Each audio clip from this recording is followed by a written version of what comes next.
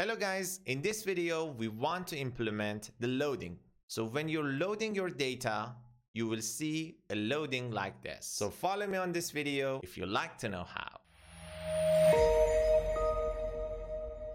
Okay, here is the roadmap for this lesson. Let's start by adding an image to use it as the indicator of the loading. It could be any image, but you need to remember its address. I want to copy mine from the Explorer inside the Assets folder with the name of loading.svg. If you want to use the same as me, you can find it on the comment link in the description below. Okay, close it. At the next step, I want to create the loading component for showing this image inside it. So from the terminal, select new terminal then go to the frontend folder and write nggc for generating the component inside components folder, partials folder with the name of loading. Then press enter. Okay, the component is generated successfully. Let's close the terminal and check it out inside the Explorer. src app, components, partials, and loading. There we go. Now before working on the loading component, I want to work on the service because loading service will give us methods and observable for watching the loading state and changing the loading state. Let's implement it. So from the view menu, select terminal, then clear everything. So write nggs for generating the service inside services folder with the name of loading. Then press enter. As you can see, the loading service is generated. Let's go inside it. Close the terminal from the Explorer, scroll up, open up the services and loading service. Here at the top, I want to define a private local variable with the name of is loading subject that is equal to new behavior subject with the value of boolean and its default value is false because the loading is by default false. By using this is loading subject, all the classes that are using this loading service would be informed about the state of the loading. I want to add two methods here. Very, very simple. The first method is show loading.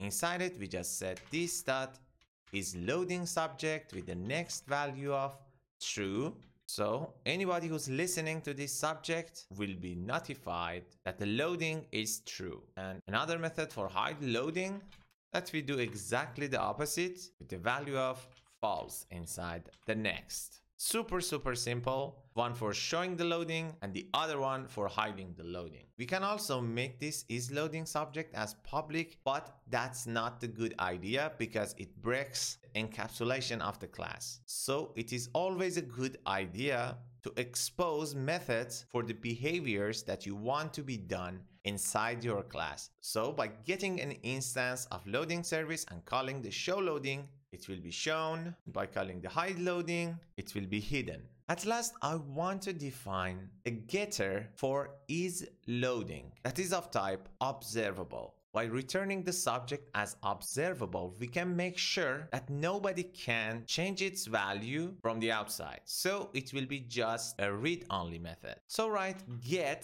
is loading and inside the function just return this dot is loading subject dot as observable.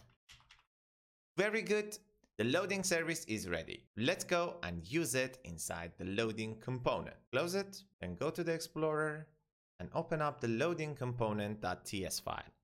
Here I want to define the local field for using it inside the HTML file. So create a field with the name of is loading. It is required and set it to boolean.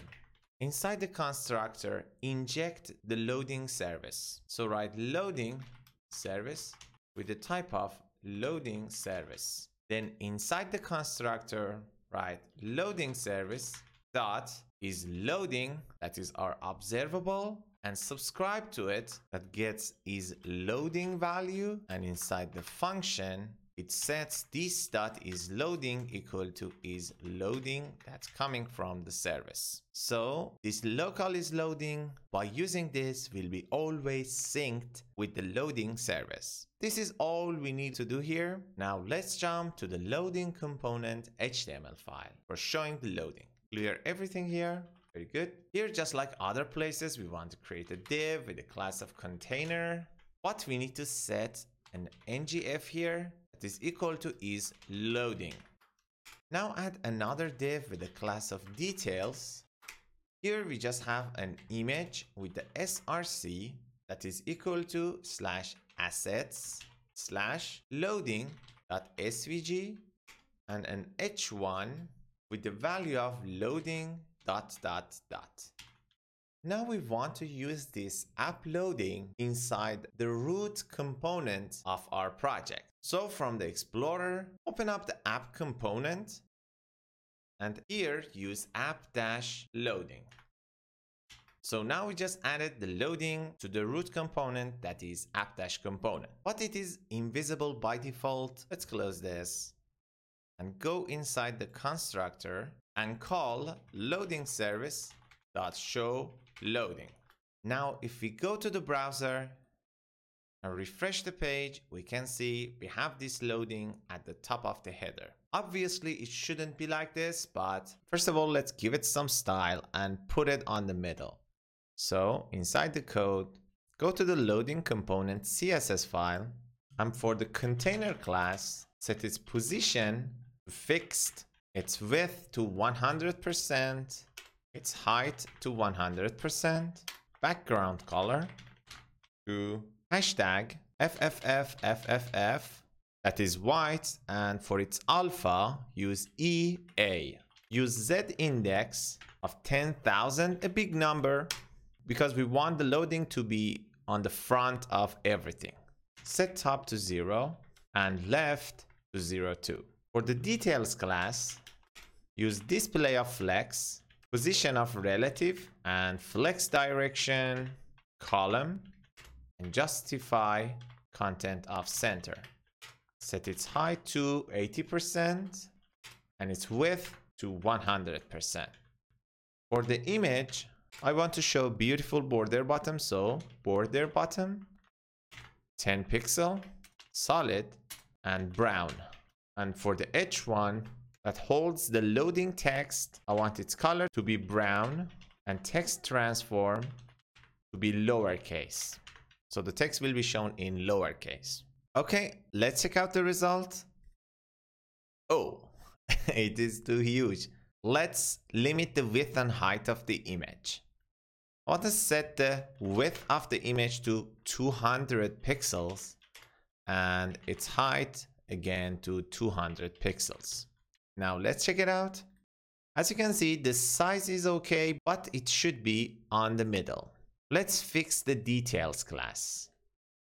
Here, for now, we don't need the relative position. We have justify content. We also need align items equal to center. Let's check out the result. As you can see, we have the loading on the middle beautifully. Now let's go inside the code and inside the loading component TypeScript file, let's remove this show loading from the constructor. Now there shouldn't be any loading and there isn't. So there's a question, how can we handle showing and hiding the loading? The first way and the not efficient way is to go on each component that has a connection with the server. For example, home component that loads the tags, and the foods page component that shows the food, but this is not efficient. I found a very simple way to do it, and it's using the interceptors. Angular has a great way of intercepting the request. And intercepting means staying between server and client and seeing all the requests that goes to the server. We can stay there, we can start loading when there is a request and we can stop it when all requests get finished. But first of all, let's generate the interceptor. Now close everything that is related to the loading. We don't want to touch them for now we want to add an interceptor. So from the view menu, select terminal. Here we need to write ngg interceptor. For generating an interceptor, inside shared folder, interceptors folder with the name of loading. Then press enter. Okay, it is generated. Let's close the terminal and go to the Explorer. Here we need to go the shared folder and interceptors folder there we have this loading interceptor. I know it is a little bit complex, but it is super, super simple. Now we can see what request we are sending to the server and what is the next thing that needs to happen. First of all, I just want to show an alert to show you how it works. So write alert, I'm interceptor. Okay. Now if we look at to the browser and if we refresh the page, nothing will happen because we just made the interceptor. We need to add it to the module in the way that I tell you right now. Come back to the code and from the Explorer, open app.module. Here at the line that we are importing HTTP client module, we need to put a comma and write HTTP underline interceptors. Then we need to scroll down to the providers part and we need to press enter. We need to add an object. We need to set its provide equal to HTTP interceptor that we imported seconds ago and it has a use class and for the use class we need to use the class name that is loading interceptor and press control dot or command dot to import it here and set its multi-property to true so this is how we add an interceptor now if we come back to the user we can see that we have I am interceptor alert at the top. So let's go back and handle the loading inside it. Close the app module and inside the intercept method, remove the alert. Here outside of the class, I want to define a global variable with the name of pending requests that is equal to zero by default. We use this variable to handle multiple requests that goes to the server because we don't want to show loading multiple times on a single page. So we show the loading and when all the pending requests are finished, then we hide the loading. Here inside the class, let's inject the loading service. So write private loading service with the type of loading service. And here inside the intercept method, we want to use the loading service to show the loading. So use this dot loading service dot show loading. After showing the loading, we increase the number of pending requests. So make it equal to pending requests plus one. Its name should be pending requests. Okay, very good. Here, if we have observable with the type of HTTP event, so we can pipe it with the tap function from RxJS and we can use its output without changing its values. For the happy part of the request that will be done inside the next method, we get an HTTP event. At the first line of this function, we write if event.type is equal to HTTP event type dot response. That means the request is finished. Then we call this dot handle hide loading. Now let's make this handle hide loading method. Here write handle hide loading. At the first line, we need to do exactly the opposite of this. We need to decrease the pending requests by one. Then we need to check if pending requests are equal to zero. Then we need to call this dot loading service dot hide loading. Super, super simple. But what about the unhappy part? We need to add another handler here for error. We don't want to touch the error here, so we put an underscore and inside it, we write this dot handle hide loading. So it will call the same method.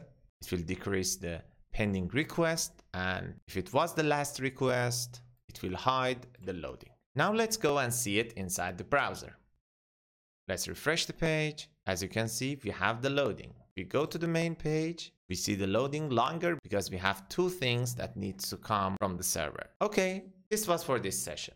On the next session, we want to work on the checkout page. So when you click here, you will be redirected to the checkout page that we are going to make in the next session. You've been watching Code with Nasir, and I hope to see you next time.